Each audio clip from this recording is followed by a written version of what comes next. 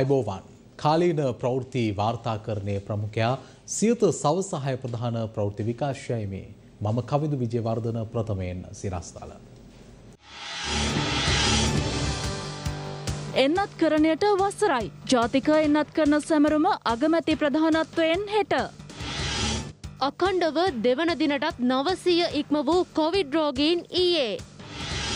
වයඹ සරසවියෙන් කොවිඩ් පොකුරා. විනෝද චාරිකා ගියායත් පොක්කුරු හදයි. රෝගීන් වැඩිවුණොත් සීමා පණවන්නත් වෙයි. විශේෂඥ වෛද්‍ය හේමන්ත කියයි. ඔමික්‍රෝන් තවත් අවුරුදු සියයක්වත් පවතීද. පොහොර අර්බුදයෙන් ගොවීන් අපහසුතාවයට ඇමැති මහින්දානන්ද කුඹුරට බසී. සිමෙන්ති කොට්ටෙන් අපායට දොර ඇරගන්න මාෆියාකරුවන්. සතොස නඩුතුනකින් ඇමති ජෝන්ස්ට නැතුළු තිදෙනෙකු නිදහස්. මහා ඩොලර් මංකොල්ලය නිසා ලංකාව බංකොලොත් වී ඇති බව පාටලේ කියයි. කැලනි තිස්ස බලාගාරයේ එක් ටැන්කියක ඩීසල් අවසන් වෙයි. ඩීසල් පෙබරවාරි පළමුුවනදා හෝ දෙවනදා කැලනි තිස්සට. අදත් විදුලිය කපන්න අවශ්‍ය නැහැ. ආණ්ඩු මාරු කරලා රට ගොඩ ගන්න බැහැ අනුරකුමාර කියයි. සමකි සහනාධාර පොහොර ප්‍රතිපත්තිය ගෙනෙන්නෝ සජිත් සූදානම්. උසස් පෙළ විභාගේ කාලසටහන අත්හිට වෙන ලෙස ඉල්ලා අභ්‍යාචනාධිකරණයට පෙත්සමා. ප්‍රථම නවධානය දේශීය පුවත් වෙත. රජ්‍ය වී කිලෝව රුපියල් හැත්ත පහකට ගන්න සූදානම් වෙනවා. මහමෝල් හිමියන් වී කිලෝව රුපියල් අනුවකට ගන්න ලෑස්ති. ගොවියන් රුපියල් හැත්ත පහට වීදීලා අතින් කාල හරක් බලන්න ලෑස්ති නැහැ. අනිවාරෙන්ම මෙවර තියෙන අස්වැන්නත් මහමෝල් හිමියන්ගේ මහමෝල් ඇතුළේ නතර වේවී. දැනටමත් සහල් මිල තියෙන්නේ අහස උසට ගිහින්. පොහොර හිගේ නිසා අස්වැන්නත් බාගෙට භාගයක් පහත වැටිලා. පිටරටින් සහල් ගෙන්වන එකත් හිතන තරම් ලේසි නැහැ. ඩොල අවශ්‍යයි. නැවක් එන්න මාසයක් දෙකක් යනවා. තුන්වේලම බත්කාපු රටකට වෙච්ච විපතක්. සහල් මිල දිනපතා ඉහළ යනවා. මෙවර නම් මිල ඉහළ දාන්න බැලූ බැල්මට හේතුවක් තිබෙනවා. ඒ රසායනික පොහොර හිගේ නිසා වී අස්වැන්න පහත වැටීමයි. තියෙන වීටික ඇත්තටම රජයට ගන්න පුළුවන් වේවිද. රජය දෙන්න හදන්නේ වී කිලෝවකට රුපියල් හැත්ත පහයි. නමුත් මහමෝල් හිමියන් රුපියල් අනුවකට පමණ වී කිලෝව මිලදී ගන්න සූදානම්. මොන කොවියද රුපියල් අනුවකට දෙන්න පුළුවන් කමතියාගෙන රජයට රුපියල් හැත්ත පහට දෙන්නේ. අන්තිමට වෙන්නේ තියෙන වීටිකත් මහමෝල් හිමියන් නග නතරවීමයි. කුඩා මෝල් හිමියන් දැනටමත් හොඳටම අසරණයි. අවශ්‍ය වීතොක නැතිව කුඩා මෝල් දෙසිය පණහක් විතර වැහිලගෙහින්. අද වන පිට සහල් අලවිවන්නේ හිතූ හිතූ කරන්වලට. තුන්වේල බත්කාපු රටක ජනතාවට අද එක වේලක් කන්නත් සහල් කිලෝවකට රුපියල් එකසිය හැටකට වැඩියෙන් කිවන්න වෙලා. ලබන අප්‍රේල් වනවිට සහල් කිලෝවක් රුපියල් තුන්සියකින්වත් නතර වුණොත් ලොකු දෙයක්. රජය සහල් මිල පහත දැමීමට මියන්මාරින් සහ තවත් රටවලින් සහල් ආනයනයට සූදානම් වෙනවා. ඒකත් හිතන තරම් ලේසි නැහැ. ඒ සඳහා ඩොල අවශ්‍යයි. ඩොල හොයාගෙන සහල් ආනයනය කරනකොට අඩුම ගානෙ තව මාස දෙක තුනක් පත් ගතවේවේ. ඇත්තටම සහල් මිල ඉහළ දැමීම පිළිබඳව ඇත්තේ මාෆියාවක්. ගොවියට වැඩි මිලක් දුන්න කියලා V8 වල යන ගොවියන් නැහැ. ගොවියට වැඩිමුදලක් දෙනකොට ඊට අඩුවෙන් සහල් විකුණන්න බෑනේ එවිට සහල් මිල ඉහළ යනවා. ඉහළ යන සහල් මිල අවසානයේ නතර වෙන්නේ පාරිභෝගිකයන්ගේ හිස මතයි. කිසිදු පාලනයකින් තොරව ඉහළ යන සහල් මිල ජනතාව අද අසරණ කරලා අවසන්. ආල් ගණන් ගියා. තියෙන 175 160යි 180යි එක එක වර්ග ආල් තියෙනවා. ජීවත් වෙන්න හරි අමාරුයි. 2000ක් ගත්තා 2000 ඉවරයි උදේට. කණ්ඩ බොණ්ඩ. ආල් තමන් ගොක්ම යන්නේ අපිට. දවල්ට තුන් දෙවලෙම කණ්ඩ අපිට රුපියල් 80ක් විතර ආල් කිලෝ දෙකට. ආල් ගණන් ගියා දෙයියන්ගේ පීට 180යි 190යි 200යි ඔය වගේ තියෙන්නේ. ඊයට නම් ජීවිතේට තම්බෙන්නේ ආල්. ඉතින් ආණ්ඩුව හොඳයි අපි කියන්නේ එච්චරයි. තුන්වෙනි එක වෙලා ගෙවෙන්නේ මිනිසුන්ට දැන්. කන්න නෑ කන් සීනෙක් කෙන කන නැතික් කියලා නෑ. රද රෝස කැකුළු එම 170ක් 80ක් විතර වෙනවා. බන්දුල මහත්තයට නම් ඉතින් හම්බ වෙනවා ඇති දුප්පත් අපිට නම් හම්බ වෙන්නේ නැහැ. බන්දුල මහත්තයා නම් වගා කරලා අමුතුවෙන්ම මේ විකුණන්න ඕනේ ඒ ගාන්ට ගණ්ඩන. මේ පැත්තේ කඩවල රුපියල් 100ට හාල් ඇත්තෙම නැහැ. ඔක්කොම තියෙන්නේ 160 170 180යි 200 ගාන. බන්දුල මහත්තයා ඒ සීට් එකෙන් එළියට ඇවිල්ලා ගිහිල්ලා බලන්න ඕනේ රටේ තත්ත්වය මොකද්ද කියලා කඩවල් ගානේ. අර මිල ගණන් තමයි අපි වගේ මිනිස්සු දුක් විඳිනව තමයි ගෙවල් ගානේ වැඩ කරලා දුක් විඳිනවා. වෙන මොනවා කරන්නද පුතේ? කඩකාරයන්ට රට බාර දීලා යන්න ඕනේ. ආණ්ඩුව කරන්න බැයින. කඩවලට කියලා බලන්න 100 ගණන් 100ට අඩුවේ නැහැනේ කාලක්වත්. ඔක්කොම තියෙන 100ට වැඩිය. බන්දුල ගුණවර්ධන මහත්තයා කියයි අඩුවට දිනවා අඩුවට දිනවා කියලා. 250යි 100ට කොයි කීනි කියලා ආන්නකෝ. කිලෝ එකක්. කීරි සම්වලුමේ මොන සම්වද කියලා අපි දන්නේ නැහැ. ආල්වල ගන්න 250යි. දැන් මේ එතන කඩෙන් ගිහලා ගත්තේ. කවුද කියන්නේ බන්දුල කුමාර මහත්තයා කියන්නේ මේ? 100ට දිනවා කියලා. රජය ඒගොල්ලොන්ට ඇති 100ට නේ. අපිට නෑ. පාරිභෝගික ජනතාව එසේ තම වේතනාව කියද්දී පොහොර නැතිව කුඹුරෙන් මඩටම වැටුණු ගොවියන් රට පුරා තාමත් සිය වේදනාව පවසනවා. මේ ප්‍රදේශයේ හාල් මිල රුපියල් 150ට වැඩි. ඕක තමයි ඇත්ත කතාව. මේක හැම එකින්ම මේ කොමිස් මේ හොයන්නේ මේ රජයේ മന്ത്രിවරු ඇමතිවරු. මේ ගොවියා අනුතරේ දාන්න එපා. මොකද ලංකාවෙම ගොවිතැන නැති වෙයි කියන එක අපිට භයානක තත්ත්වයක් උදා වෙලා තියෙනවා. ගොවියෝ දිගින් දිගටම ഘോഷණය කරලා උපවාස කරලා ඉල්ලීම් කරා මේ රසායනික පොහොර ලබා දෙන්න. තව මාස දෙකක් තුනක් යනකොට මේ තත්ත්වය උදා වෙනවා කියලා ගොවියෝ දිගින් දිගටම ඉල්ලීම් කරා. හැබැයි රජය සත පහකට ගණන් ගත්තේ නැහැ. රජයට ඕන දේවල් තමයි රජය කරේ. ඒ නිසා අද මේ තත්ත්වය උදා වෙලා තියෙනවා. නගින්න අපිට දෙල්ලා පිච්චෙනවා වාගේ පිච්චෙන්න ඕනේ. මේ කුඩා දරුවන්ගේ බඩගින්න මේ දරුවන්ගේ බඩගින්න දැවෙනවා වගේ දැවෙන්න ඕනේ මේ කරමු ජාතික අපරාධයට. අද සත පහක්වත් නැතුව තමයි ගෙවල් වලට යන්න වෙලා තියෙන්නේ. ඉතින් ගෙවල් වල ගිහිල්ලා ඉන්න විදියක් නැහැ ජීවත් වෙන්න විදියක් නැහැ අපිට. හරිම දුකයි ඉතින්. ඒවට වග කියන්න ඕනි සම්පූර්ණයෙන්ම මහින්දානන්ද මහත්තයා.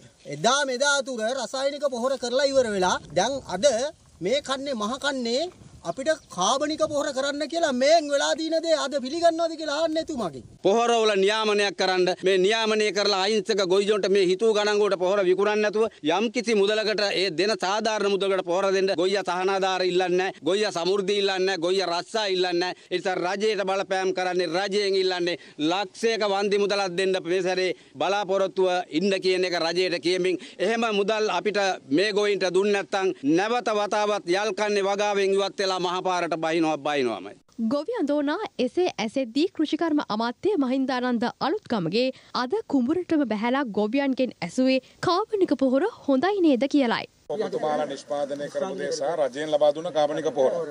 ඒතර මේක හදනකොට පොඩි දෙනකොට පොඩි බයක් තිබ්බා නිෂ්පාදනය අඩුවක් වෙයි කියලා. සෑහෙන බයකින් තමයි පටන් ගත්තේ. හැබැයි දැන් හදලා බැලුවාම දැනෙන්නේ නැහැ හැම දෙයක්.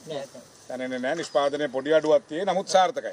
ඒ වගේම මේ නිෂ්පාදනය ගොඩක් අඩු වෙයි කියලා හිතන්න අමාරුයි. හිතන්න අමාරුයි. රජෙන් දීපු දිහර පොහොර පාවිච්චි කෙරුවා. ඒකේ නැනෝනයිට්‍රජන් කියලා ආපු එකට වැඩිය ප්‍රතිඵල තියෙනවා මට පෙන්වන්න පුළුවන් අර එහා පැත්තට ගියාම අර මාළු දාලා අර ගඳයි කියලා දීපු එක ඊට වැඩිය හොඳට කොළ පාටට හැදුනා ඒවා. ඒවා හුඟක් සාරවත්. මේ යාය ගත්තාම රසායන පොහොර පාවිච්චි කරේප නැති යාය. වෙනදට අපි මේ වී කරලා කත ගෑවට පස්සේ වී කරලේ බොල් වීයට ප්‍රමාණය වැඩි. අද ඒ වුණාට මේක මගේ හිතේ 98%ක්ම සාර්ථකයි. මේ ප්‍රදේශයේ ගොවීන් රසායනික පොහොර භාවිතා කරලා තමයි දිගින් දිගට වගා කරලා තියෙන්නේ. නමුත් රජය විසින් ලබා දුන්න කාබනික ඝන පොහොර, දියර පොහොර, නැනෝ නයිට්‍රජන් සහ රතු පොහොර හරියටම භාවිතා කරලා තිනවා මේ ගොවීන්. හැම ගොවියෙක්ම කියන්නේ හරියට කරොතින් ගැටලුවක් නැහැ කියන එක. ඒ නිසා අපි අද ගොවි බිමේ අපි හෙක්ටයාර් 2000ක් විතර අපි නිරීක්ෂණය කරා මේ ප්‍රදේශයේ හැම ගොවියෙක්ම කිව්වේ මේ වැඩපිළිවෙල සාර්ථකයි කියන එක. මේ රජය විසින් ලබා දුන්න පොහොර හරියටම භාවිතා කරොත් මේ කටයුත්ත කරගන්න පුළුවන් නිෂ්පාදනයේ කිසිදු අඩුවක් වෙන්නේ නැහැ කියන එක තමයි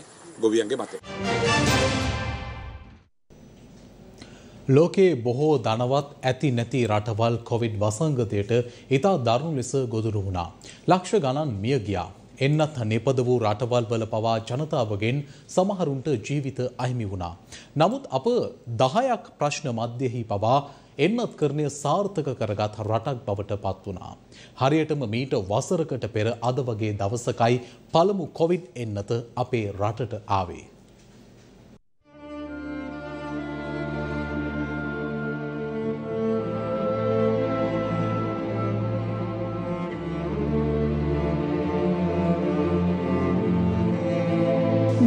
කොවිඩ් වසංගතය හමුවේ මේ වන විට තිබෙන සාර්ථකම හා එකම විසඳුම එන්නත් කරණය පමණයි. අපේ රටත් වෛරසයෙන් හොඳටම හෙම්පත් වුන රටක්. තමන්ගේ ආදරණීයන් මේ ලෝකේ හැරයද්දී පොකුරු පිටින් ආසාධිතයින් හමුවෙද්දී අපට එතෙක් තිබුණු එකම විසඳුම රට වසා දමා සෞඛ්‍ය උපදෙස් පිළිපැදීමයි. නමුත් ලෝකයේ හැම රටකටම මේ විදිහට වෛරසය වදතෙත්දී අපිට හැමදාම රට වහගෙන ආර්ථිකය වැටෙන්න දෙන්න බැහැ. එවැනි පසුබිමක හරියටම මීට වසරකට පෙර අද වගේ දිනකයි පළමුුවරට කොවිට වසංගතය හමුවේ අපේ රටට බලාපොරොත්තුවේ මල් පිපුණේ. ඒ ඉන්දියාවෙන් අපේ රටට කොවිට් මර්ධනය සඳහා ඇස්ට්‍රාසනිකා එන්නතේ පළමු එන්නත් මාත්‍රාතෝගේ ලැබීමත් සමගයි.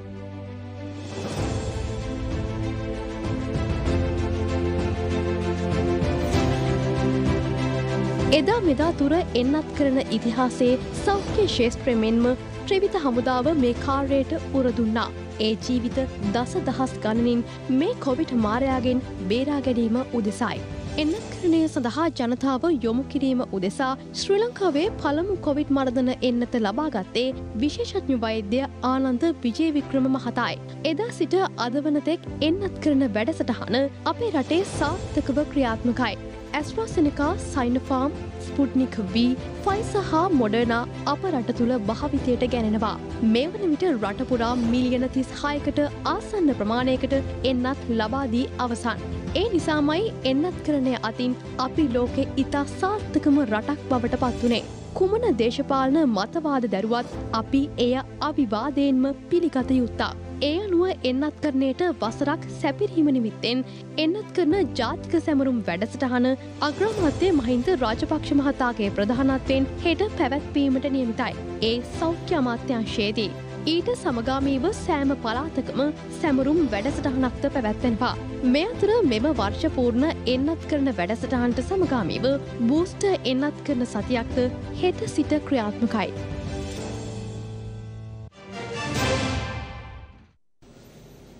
අකණ්ඩව දෙවන දිනටත් නවසියෙක්මවා කොවිඩ් රෝගීන් වාර්තා වුණා. මෙලෙස දෛනික රෝගීන් ඉහළ යන්නේ නම් යළිත් සීමා පැනවීමට වුවද සිදුවිය හැකි බවයි විශේෂඥ වෛද්‍ය හේමන්ත හේරත් මහතා ප්‍රකාශය කළේ. දැන් කොවිඩ් පිළිබඳ සම්පූර්ණ වාර්තාව. අකණ්ඩව දෙවන දිනටත් දෛනික කොවිට් රෝගීන් නවසිය ඉක්මවා ඊයේ දිනත් වාර්තා වුණා. ඒ රෝගීන් නවසිය හතලිස් දෙදෙනෙකු ලෙසයි. විදේශගතව සිට පැමිණි පුද්ගලින් තිදෙනෙකුද ඊට ඇතුළත්. දෛනික ආසාදිතයින් ඉහළ ගියහොත් යළිත් සීමා පැනවීමට සිදුවන බවයි විශේෂඥ වෛද්‍ය හේමන්ත හේරත් මහතා ප්‍රකාශ කළේ. දිගටම මේ වගේ තත්ත්වය උදා වුණොත් යම් සීමාවක් යටත් කරන්න සිද්ධ වෙයිද?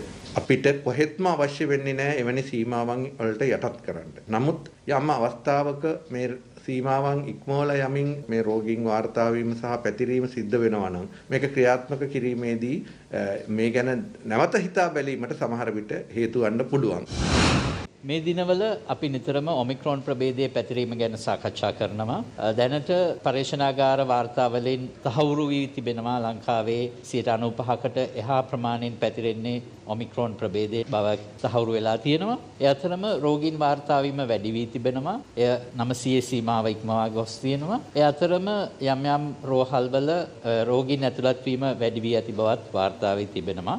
මේ වන විට සෞඛ්‍ය කාර්ය මණ්ඩලයේ බොහෝ පිරිසකට COVID-19 වෛරසය ආසාදනය වී ඇති බවයි රජයේ හෙද නිලධාරීන්ගේ සංගමේ සභාපති සමන් රත්නප්‍රිය මහතා ප්‍රකාශ කළේ. දැන් හිටපු සෞඛ්‍ය ලේකම් වෛද්‍ය අතුල කහඳලිනගේ ඔහු මිය ගියා කොවිඩ් වලින්. ඒතර වෛද්‍යවරු පස් දෙනෙක් කලින් මිය ගියා. ඊළඟට ප්‍රාදේශීය දේශපාලනඥයෝ කීප දෙනෙකුත් මිය ගියා. ජනතාව මිය ගියා. ඊයේ මරණ සංඛ්‍යාව අපි දැක්කා 23 දෙනෙක්. මේවා නිවැරදි දත්තද කියන කාරණා පිළිබඳ ප්‍රශ්නිකුත් තියෙනවා. ඉතින් මේ පැත්තෙන් රෝහල් කාර්ය මණ්ඩලයේ රෝගයට බිලිවීම ඉතාම බරපතල වේගෙන එනවා. ජාතික රෝහලේ එදිනදාරින් විතරක් 75ක්.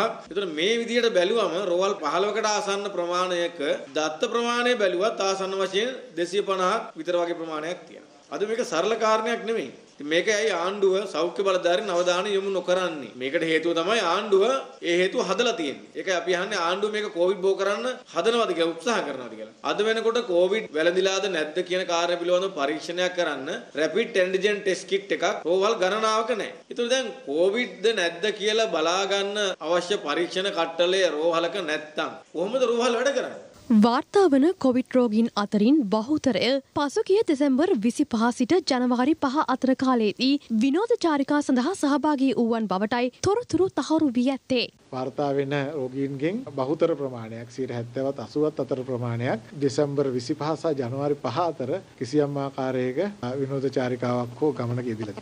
හැමතිස්සම කියන්නේ අත්‍යවශ්‍ය දේ පමණක් මේකෙදි කරන්න කියලා. පාර්ලිමේන්තු මන්ත්‍රී කුමාර වෙල්කම මහතාටද COVID-19 වෛරසය ආසාදනය වී තිබෙනවා. මන්ත්‍රීවරයා මේ වන විට රෝහල්ගතව ප්‍රතිකාර ලබන බවයි වාර්තා වන්නේ. ඒ අනුව ගත වූ සති දෙකක කාලය තුළදී පාර්ලිමේන්තු කොවිඩ් පොකුර දහය දක්වා ඉහළ යනු ඇති. වයඹ විශ්වවිද්‍යාලයේ සිසුන් පිරිසකට COVID-19 වෛරසය ආසාධනය වී තිබෙනවා. සිසුන් හතලිස් නව දෙනෙකු සඳහා සිදු කළ රැපිට් ඇන්ටිජන් පරීක්ෂණවලදී ඉන් විසිහාය දෙනෙකු කොවිඩ් ආසාධිතින් බවටයි තහවුරු වී ඇත්තේ. කොවිඩ් වෛරසය මර්ධනය සඳහා වන තුන්වන මාත්‍රාව ලබා ගැනීමට බොහෝ පිටිසක් මැලිකමක් දක්වනවා. ඒ කිසිදු විද්‍යාත්මක පදනමකින් තොර මිත්‍යා විශ්වාස පදනම් කරගනිමින්. එවැනි පසුබිමක සිව්වන මාත්‍රාවක් වුවත් ලබා දෙන්නේ නම් තමා ඒද ලබා ගැනීමට සූදානම් බවයි මෙරට පළමු කොවිඩ් ආසාධිතයා ලෙස හඳුනාගත් ජයන්ත රණසිංහ මහතා ප්‍රකාශ කළේ. එන්නත් අරගෙන සෞඛ්‍ය පුරුදු හරියට කරොත් මේ රෝගයෙන් වැළඳිලා නොමැරි ජීවත් වෙන්න පුළුවන් කියන එකයි මගේ විශ්වාසය. හතරවෙනි එන්නතක් රජයෙන් හෝ ලෝක සෞඛ්‍ය සංවිධානයෙන් අනුමත කරොත් මම නම් කිසිම පැකිලීමකින් තොරව එම එන්නතත් ගන්න බව කියා සිටිනවා. කොවිඩ් වසංගතය මීළඟ සියවස්ස දක්වාම ගමන් කරනු ඇතැයි අමරිකාවේ නසෝටා ප්‍රාන්තයේ වෛද්‍ය විශේෂඥ කණ්ඩායමක් පවසනවා. දැන් අලෝක කොවිඩ් තත්ත්වය.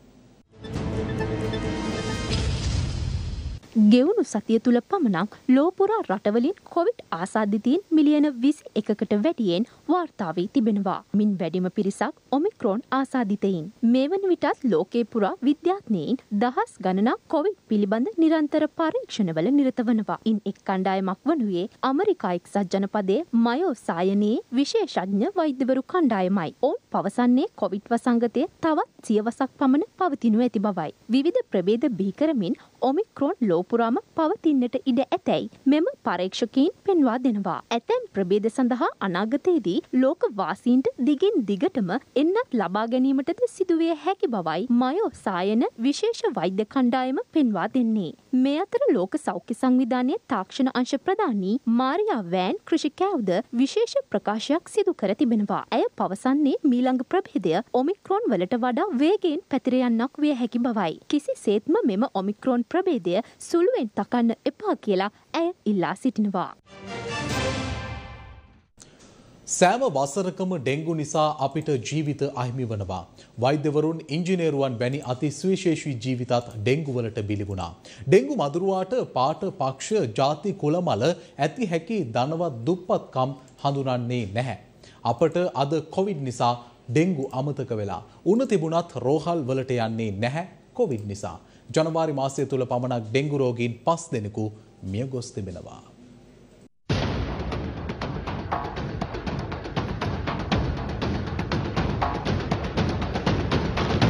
ඩෙංගු මර්ධනය අද බොහෝ දෙනෙකුට අමතක වෙලා. පසුගිය වසරට සාපේක්ෂව මෙම ජනවාරි මාසය තුළ පමණක් ඩෙංගු රෝගීන්ගේ සංඛ්‍යාව ඉහළ ගොස් තිබෙනවා. ඊට හේතුව පසුගිය කාලේ රට ලොක්ඩවුන් කරලයි තිබුණේ. දැන් රට විවෘතයි. දරුවන් පාසල් එනවා. රජයේ කාර්යාල විවෘතයි. ඒ නිසා ඩෙංගු ව්‍යාප්තිය වැඩි වී ඇති බවයි නියෝජ්‍ය සෞඛ්‍ය සේවා අධ්‍යක්ෂ ජෙනරාල් විශේෂඥ වෛද්‍ය එස්.එම්. අර්නල්ඩ් මහතා පවසන්නේ. ඉදිරියේදී මේ පාලනය කරේ නැත්නම් ඩෙංගු වසංගත තත්ත්වයකට පත්වීමේ විශාල ඉඩකඩක් තිබෙනවා. ඒ හින්දා අපි මෙම අවස්ථාවේදී ඩෙංගු රෝගය පාලනය කිරීමේ කටයුතු ඉතාමත්ම කඩිනමින් විශාල අවධානයක් යොමු කරලා සිදු කළ යුතුව තිබෙනවා. අපි මේ ඩෙංගු රෝගය සම්බන්ධයෙන් කටයුතු කරේ නැත්නම් සිද්ධ වෙන්නේ මේ කොවිඩ් රෝගීන් විශාල සංඛ්‍යාවක් රෝහල් වලට එනවා.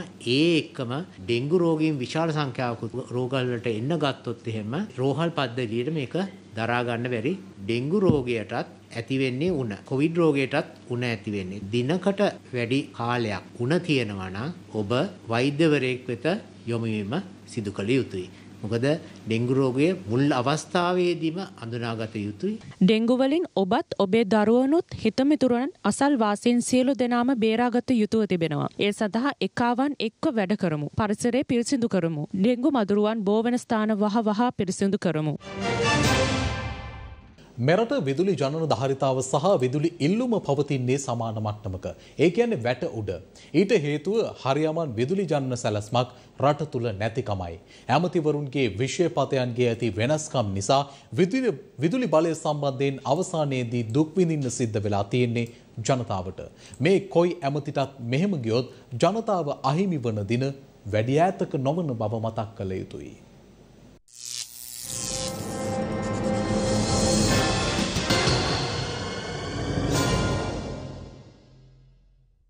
එළමෙන සඳුදා වනතෙක් විදුලි කප්පාදුවක් සිදුවන්නේ නැති බව මහජන උපයෝගිතා කොමිසම ප්‍රකාශ කළා. අද දවස තුළ උපරිම ඉල්ලුම සහිත රාත්‍රී කාලයේදී මෙගාවොට් දෙදස් හයිසිය තිහක ප්‍රමාණයක් බලාපොරොත්තු වන බව විදුලි බල මණ්ඩලය පවසනවා. ජනන දහරිතාවය සහ විදුලි ඉල්ලුම පවතින්නේ සමාන ප්‍රමාණයක වීම හේතුවෙන් එක් බලාගාරයක් හෝ හදිසි බිඳවැටීමකට ලක් වුවහොත් විදුලි කප්පාදුවකට යාමට සිදුවනවා. උපරිම ඉල්ලුම සහිත කාලසීමාවේදී මෙරට තාප විදුලියෙන් ජනනය කරන විදුලි දහරිතාව මෙගාවොට් එක්දස් දෙසිය අනූ හතරක්. ජලවිදුලියෙන් ජනනය කරන්නේ මේ කාලේ මෙගාවොට් එක්දස් දෙසිය අසුවක් පමණයි. අවුරුද්දේ දින තුන්සිය හැට පහම ඉරපායන රටේ පුනර්ජනනීය බලයෙන් උත්පාදනය කරන්නේ මෙගාවොට් පණහක දහරිතාවක් පමණයි. මේ අතර කැලනිතිස්ස බලාගාරයේ පවතින ඩීසල් ටැන්කි හතරෙන් තුන්වන ටැන්කී ඩීසල් අවසන් වී ඇති බව විදුලි බල මණ්ඩලය ප්‍රකාශ කළා. කෙසේ වෙතත් කැලනිතිස්ස බලාගාරයට අවශ්‍ය ඩීසල් පෙබරවාරි මස පළවනදා හෝ දෙවනදා ලබා දෙන බව කනිතෙල් නීතිගත සංස්ථාව ප්‍රකාශ කර තිබෙනවා. ඒ අනුව විදුලියත් දැන් එදා වේල ටුවර්ස් වලට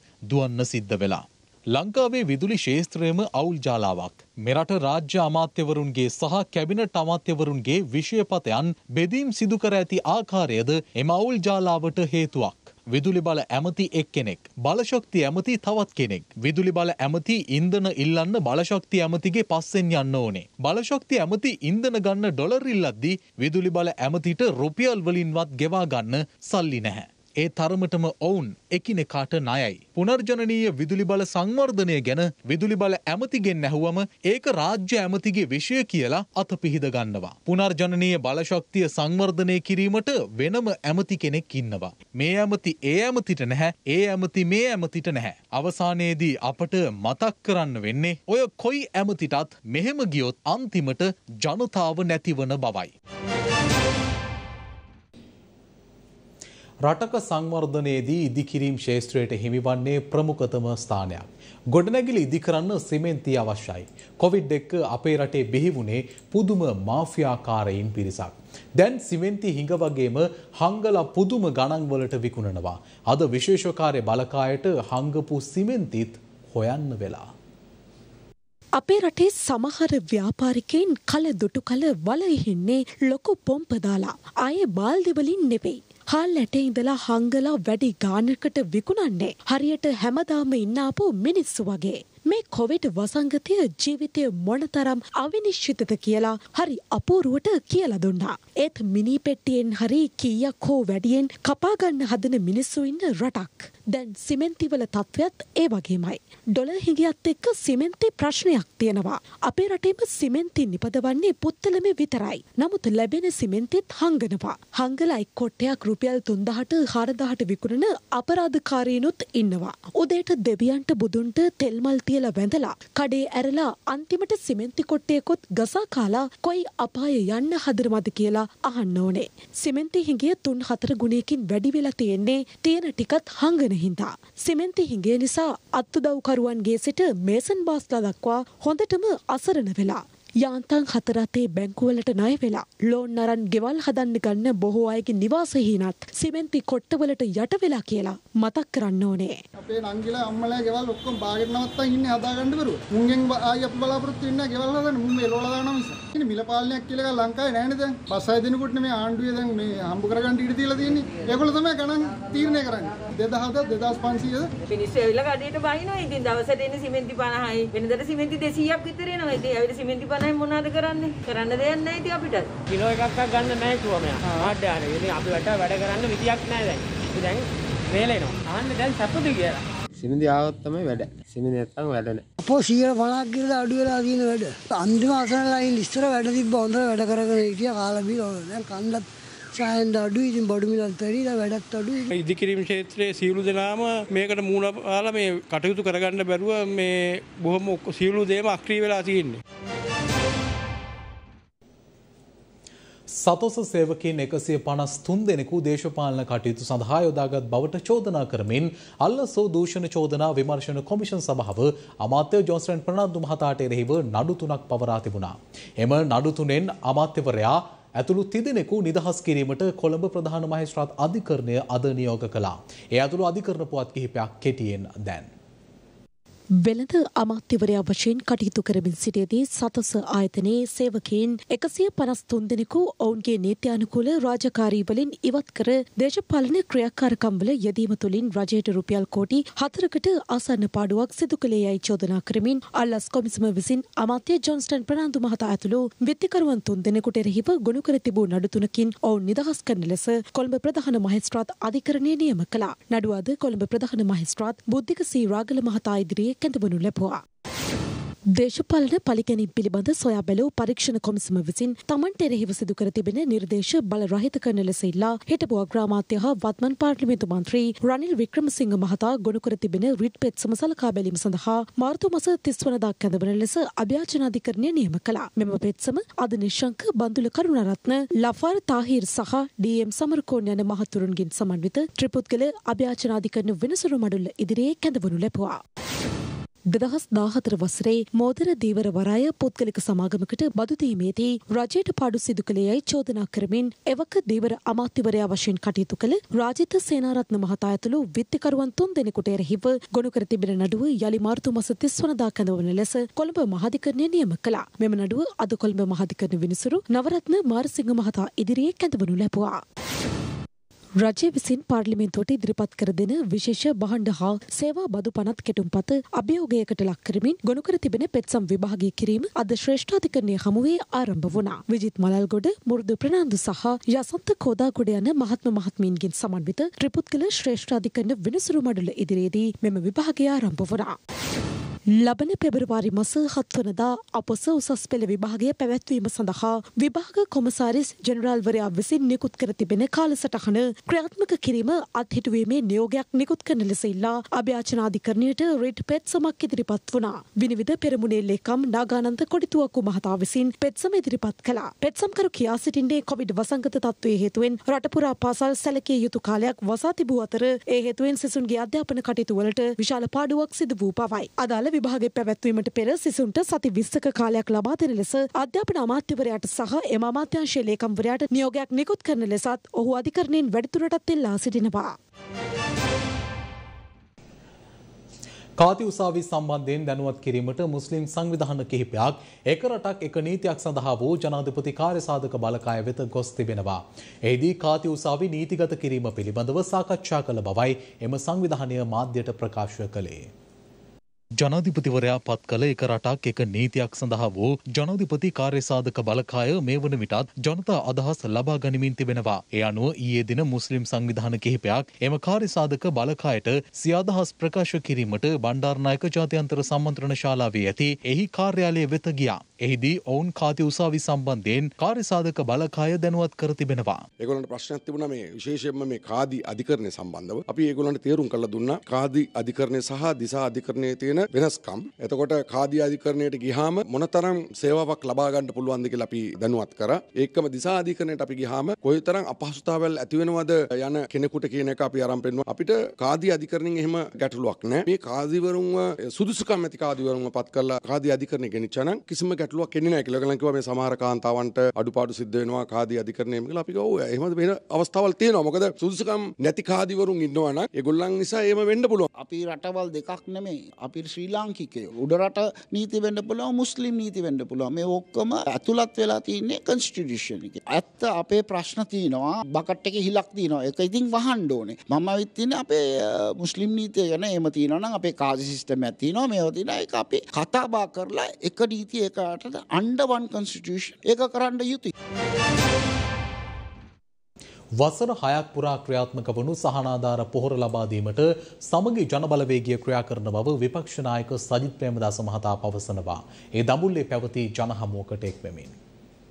අසරණ කරලා තමන්ගේ ගජමිතුරන්ට මුදල් හොයන යුගය බිහිකිරීම තමයි මේ ආණ්ඩුවේ ලොකුම කෙරුවා මේ ආණ්ඩුවට මහ පොළොවේ යථාර්ථය සත්‍යය තේරෙන්නේ ජනදුක දැනෙන නහර ටික කැපිලා තියෙන ආණ්ඩුවක්. ගොවි ජන ජීවිතය වට්ටලා සරු බිම් ටික මුඩු බිම් බවට පත් කරලා මේ අයගේ සැලස්ම තමයි මේ මුඩු බිම් ටික කෝටිපතියන්ට දෙස් විදෙස් බහුජාතික සමාගම් වලට තුට්ටු දෙකට වෙන්දෙසි කිරීමේ අරමුණින් තමයි මේ ගොවියා වට්ටන ක්‍රියාවලිය ක්‍රියාත්මක කරේ. ගොවියා වෙනුවෙන් අපි පොරොන්දුවක් වෙනවා ප්‍රඥප්තියක් සකස් කරනවා වැඩපිළිවෙලක් සකස් කරනවා මේ රටේ ඉතිහාසයේ දශක හයක් පුරාවට ක්‍රියාත්මක වුණු සහනාධාර පොහොර ලබා දෙන ප්‍රතිපත්තිය සමගි ජන බලවේගේ අපි දියත් කරනවායි කියලා මේ අවස්ථාවේ කියන්න කැමතියි. ආණ්ඩුවේ ඔළුව දන්නේ කඳ කරන දේ. කඳ දන්නේ කකුල් දෙක කරන දේ. කකුල් දෙක දන්නේ අත් දෙක කරන දේ. කවදාවත් ප්‍රේමදාසගේ පුතත් එක්ක සංවර්ධනෙන් තරම් කරන්න බෑ. ආණ්ඩු පමණක් මාරු වී පවතින තත්ත්වයෙන් රට ගොඩගන්න බැරි බව ජනතා විමුක්ති පෙරමුණේ නායක පාර්ලිමේන්තු මන්ත්‍රී අනුර කුමාර දිසානායක මහතා පවසනවා. ඒ අවිස්සාවෙල්ල ප්‍රදේශයේ පැවති ජනහමුවකට එක්වෙමින්. මේ ආර්ථික අවසන් ප්‍රතිඵලය කෙරවල පිටියේ බලාගාරය ඇමරිකානු සමාගමට විකුණා දැමුම් ලැබුවා. ත්‍රිකුණාමලේ තෙල් ටැංකි සංකීර්ණය ඉන්දියානු සමාගමට වික්කා. වරාය අක්කර 13ක් චීන සමාගමකට වික්කා. දැන් සෙලෙන්දිවා කියලා ආයතනයක් හදලා රටේ වටිනා ඉඩම් සහ පෞරාණික දේපල විශාල ප්‍රමාණයක් විකුණන්න දාලා තිබෙනවා. කොළඹ නගරේ යෝග් ගොඩනැගිලි විකුණන්න දාලා තිබෙනවා. ගෆූර් බිල්ඩින් එක විකුණන්න දාලා තිබෙනවා. ග්‍රෑන්ඩ් ඔරියන්ටල් හෝටලේ විකුණන්න දාලා තිබෙනවා. විදේශ කටයුතු අමාත්‍යාංශ පිටි බිල්ඩින් එක විකුණන්න දාලා තිබෙනවා. මහතපල් කාර්යාලය පිටි බිල්ඩින් එක විකුණන්න දාලා තිබෙනවා. කොම්පඤ්ඤ වීදියේ ගුවන් හමුදා කඳවුර එතනින් අයින් කරලා ඒ කඳවුර පිහිටි විකුණ ඉඩම විකුණන්න දාලා තිබෙනවා. කොම්පඤ්ඤ වීදියේ ගුවන් හමුදා කඳවුරට අයිතිව තිබුණු ක්‍රීඩා පිට්ටනිය විකුණන්න දාලා තිබෙනවා. මැරයින් ඩ්‍රයිව් වල අක්කර හතරක් විකුණන්න දාලා තිබෙනවා. බොරැල්ලේ බන්ධනාගාර සංකීර්ණ අක්කර 42ක් ඒ බන්ධනාගාර සංකීර්ණ මිල්ලෙනී ප්‍රදේශයට කළුතර ගෙනිලා ඒක විකුණන්න දාලා තිබෙනවා. තෙල් ඇමති ඇවිල්ලා රූපවාහිනිය කියනවා ලයිට් දුන්නොත් පයින් යන්න වෙනවා වාහනවල ගියොත් කරුවල ඉන්න වෙනවා කියන. මරු ඇමති. ලයිට් පත්තු කරන එකයි වාහනවල යන එකයි දෙකම එකට කරන්න බෑ. ඊයේ පරිසර ඇමති යෝජනා කරනවා. දැන් රාජ්‍ය සේවකයන් වැඩ කරන අය ෆුඩ් සයිකලේ ඉන්නවා. ෆුඩ් සයිකලෙන් කෙනෙක් රාජකාරී වලට යන එක වැරද්දක් නෑ හොඳයි. හැබැයි ඒකට අවශ්‍ය වෙන මාර්ග පද්ධතියක් හැදෙන්න ඕන, මන්තිරු පද්ධතියක් හැදෙන්න ඕන, පරිසර පද්ධතියක් හැදෙන්න ඕන. අපි මේ පාරේ ෆුඩ් සයිකලේ ගියොත් නිකන් සාමාන්‍ය 12 මාර විතර කුණට ඔෆිස් එකට යන්න පුළුවන්. එහෙම නැත්නම් රනිල් මහත්තයා තමයි අප්සෙට්. හැබැයි සජිත් නම් නේද? දුප්පතාගේ හිතවතාගේ පුතා හරියට මතක තියාගන්න. ඔය වගේ ඇත්ති තරම් විවිධ වර්ගයේ මුහුණු නායකයන් මේ රටේ ජනතාව පත් කරලා තිබෙන ආණ්ඩුවලට. හැබැයි ප්‍රතිඵලයක් ලැබීනේ. ඒ නිසා තවදුරටත් මුහුණු මාරු වීම. තවදුරටත් හුදු ආණ්ඩු මාරු වීමකින් විතරක් මේ ප්‍රශ්න විසඳන්න බෑ. දෙදස් දහය වර්ෂයෙන් පසු සිදු කළ මහා සංවර්ධනයට මොවාවී ගෙන ගිය දැවන්ත ඩොලර් මංකොල්ලය නිසා රට බංකොලොත් වී ඇති බව පාර්ලිමේන්තු මන්ත්‍රී පාටලි චම්පික රණවක මහතා පවසනවා. ඒ කොළඹදී මාධ්‍ය වෙත අදහස් පළ කරමින්. දේශපාලන පලිගැනීම් පිළිබඳ ජනාධිපති කොමිසමට පාර්ලිමේන්තු මන්ත්‍රී පාටලී චම්පික මහතා අද කැඳවා තිබුණා. ඒ පසුගේ යහපාලන ආණ්ඩුව විසින් දූෂණ මර්ධන කොමිසමෙන් දේශපාලන පලිගැනීම් සිදු කළ බවට වන චෝදනා මත ප්‍රකාශයක් ලබාදීම සඳහායි. ඉන් අනතුරුව පාර්ලිමේන්තු මන්ත්‍රී පාටලී චම්පික රණවක මහතා මාධ්‍යයට මෙලෙස අදහස් පළ කළා. අදෝකට විදුලිය නෑ. ඔය දරුවන්ට කිරිපිටි නෑ. පොහොර නෑ ගොවියට. ඒ වගේම හාල් මිලදී ගන්න විදිහක් නෑ සාමාන්‍ය ජනතාවට. ගෑස් නෑ, තෙල් නෑ. ඇයි ඩොලර් නෑ. ඇයි ඩොලර් නැති වෙලා තියෙන්නේ? දෙදස් පහ පහළව කාලේ විශේෂයෙන්ම දෙදස් දහයෙන් පස්සේ මහා සංවර්ධනයක් පිටිපස්සේ අතිවේගී මාර්ග විදුලි බලාගාර ගුවන් තොටුපොළවල් යනාදී මහා සංවර්ධනයකට මුවා වෙලා කරපු දවන්ත ඩොලර් මංකොල්ලයක ප්‍රතිඵල හැටියට තමයි අද ලංකාව මංකොල්ලට තියෙන්නේ. එදා කරන ලද මේ මහා ජාතික මංකොල්ලේ ඩොලර් මංකොල්ලේ ඒ හරහා තමයි ලෝකේ විවිධ තැන්වල අද දේපොළ මතුවෙන්නේ, ජෙට් යාන මතුවෙන්නේ. ඒවා ඔබෙන් කොල්ලකාගත්ත ධනෙ. මීට පෙර ආතුව උපාලි අබේරත්න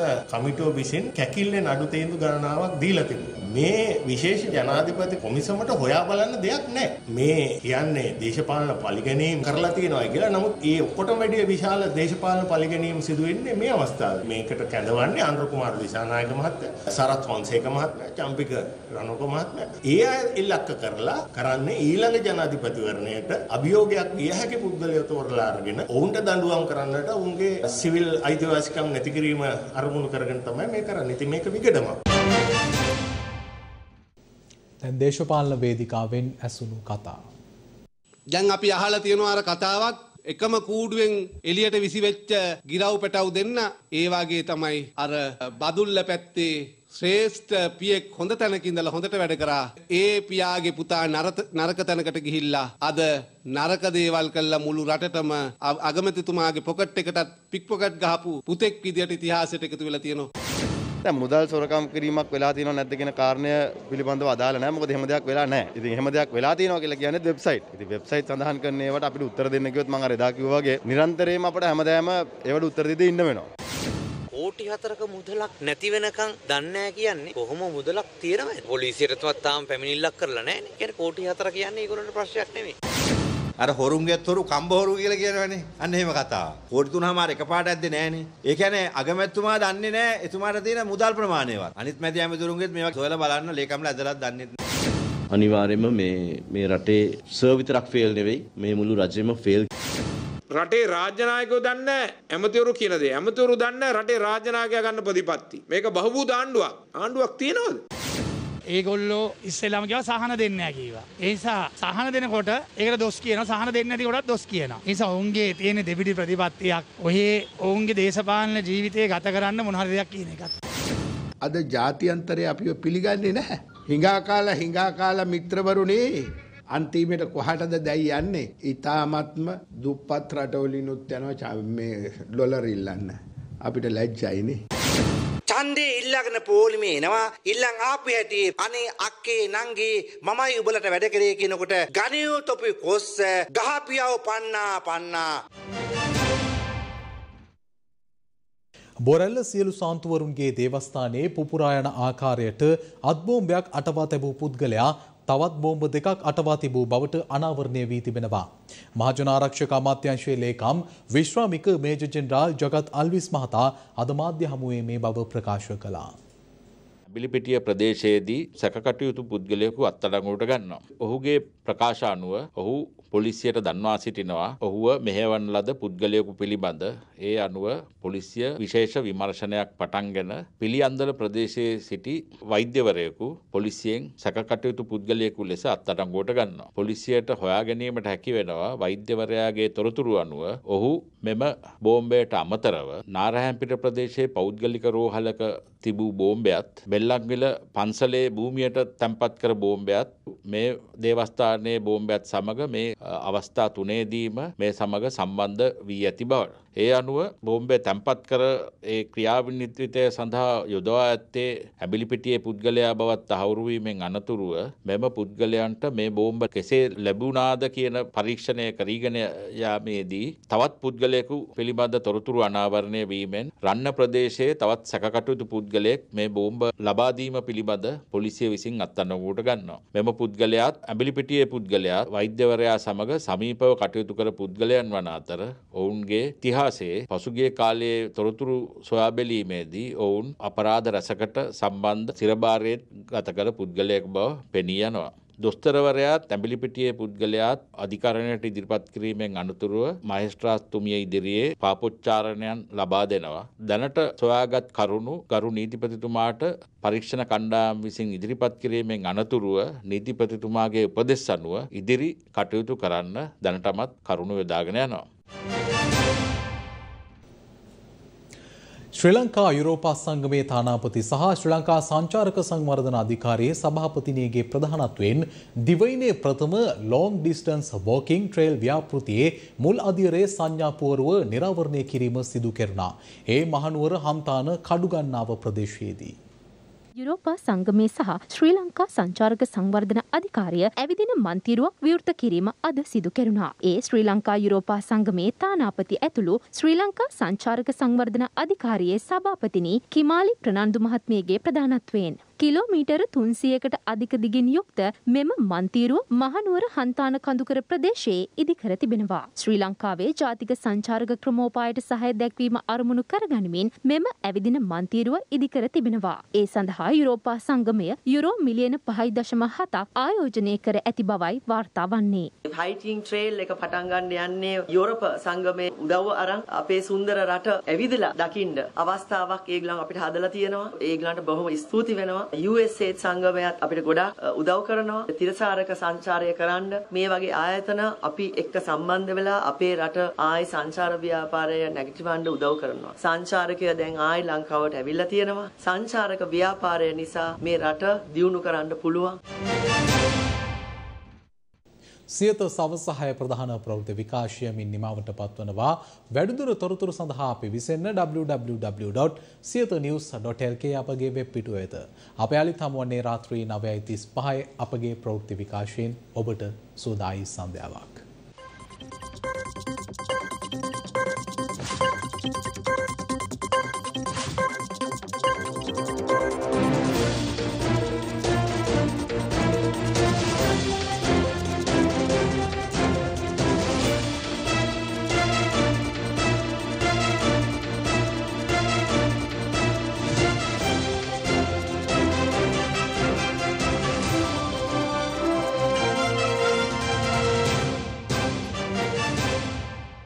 දෙනපතා අලුත් වීඩියෝ සහ ප්‍රවෘත්ති නැරඹීමට ඉහත බටන එක කලික් කර සියත TV සබස්ක්‍රයිබ් කරන්න.